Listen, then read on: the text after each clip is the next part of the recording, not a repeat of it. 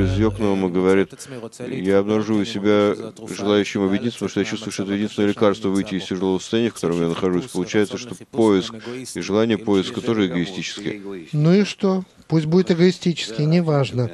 Это желание, по которое жела... Творец пока пробуждает. Мы должны работать на той территории, на которой мы находимся, а не представлять себе, что мы уже в святости. То, в чем я уже нахожусь. А главное — быть реалистичными в том самом месте, в том самом состоянии, в котором я нахожусь. В нем я должен видеть и группу объединенную, и не быть в иллюзиях. Но насколько мы можем это исполнять и выполнять.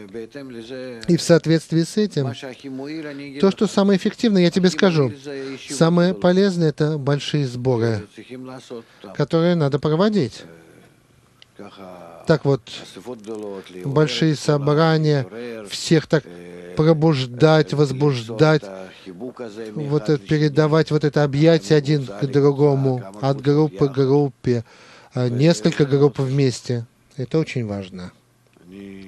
Я надеюсь, что вы не забываете это делать и, и приезжать на такие вот мероприятия. Это очень полезно.